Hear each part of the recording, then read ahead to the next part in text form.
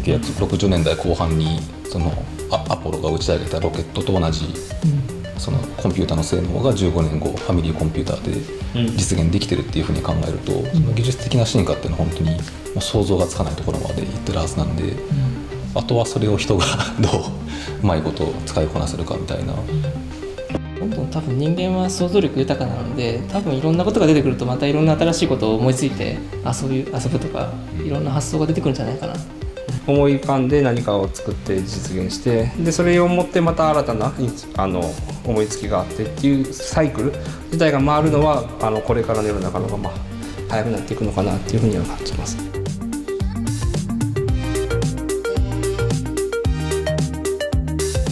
今あの限られたそのものづくりの現場でしかその動けないロボットなんですけどもその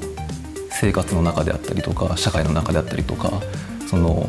そこの世界に存在しているものであったり人であったり環境であったりそういったものを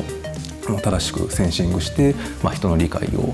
あの汲み取ってであの人が望むようなあの動きというか働きをしてくれるそういった世界になってると思います。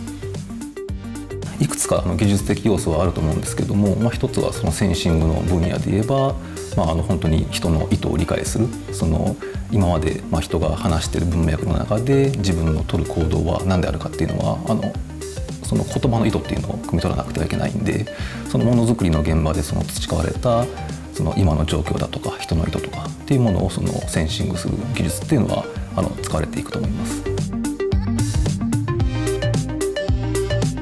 械が人の代わりをする代替っていう概念ではなくていかに人と機械が一緒に働く一緒に作業をする一緒に楽しむを、まあ、コンセプトとして具現化したものになるんですね。なんでまあ今現時点でホルフェイスがやっていることは来た球を打ち返すということではあるんですけどもこのコンセプトとして人と機械が一緒になって何かを成し遂げる一つの目標に向かって何かをやるっていうその場のあのイメージとして設定してますんで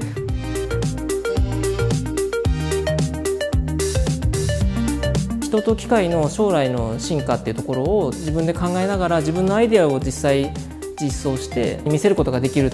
もともと私自身があの卓球ロボットを動かしている PLC という商品の開発に携わってましたので、まあ、その商品を使ってさらに世の中の人にアプリケーションとしてフォルフェウスを見てもらえるっていうのは非常にやりがいのあることです。本当技術的にもいろいろ進化していきますので